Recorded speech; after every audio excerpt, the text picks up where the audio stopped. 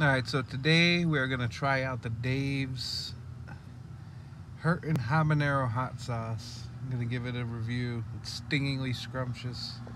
Uh, again, this is Dave's Gourmet. Now, I've had some pretty insanely hot Dave's Gourmet sauce before. This isn't going to be one of them, I'm sure. Uh, this is more for flavor. Alright, got us a nice big heaping amount on there. I'm going to give it a taste.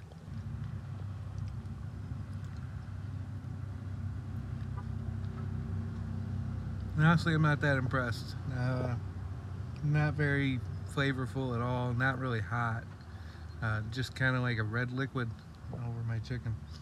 Um, we're also going to try uh, this Italian Casa Firelli hot sauce that I got while I was in there because, I mean, look at that bottle. Why wouldn't you want that bottle in part of your collection? So I'm going to try it in Italian sauce. Uh, again, I don't think this one's going to be that hot. So again, we're going to put a nice healthy amount on there and uh, give it a try.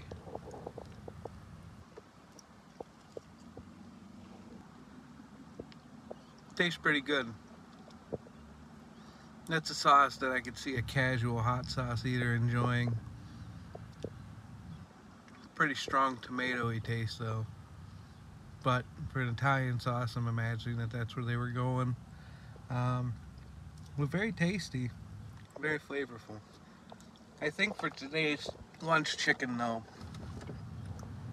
I'm gonna stick with Old Faithful, the Caribbean hot sauce chili habanero El Yucateco truck sauce. Uh, that's got tons of flavor and heat, which is what I enjoy.